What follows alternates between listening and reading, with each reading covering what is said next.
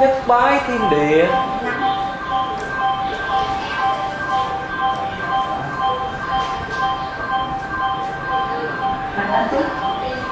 Đứng, đứng xa thì nó gần hai hai chữ. Chữ nha vô ngoài ngoài rồi nó sống tao tao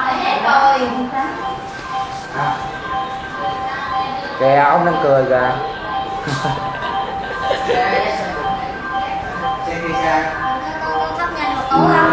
Ông nói bố mày đang quay tao rồi Ôi Con đó đến đó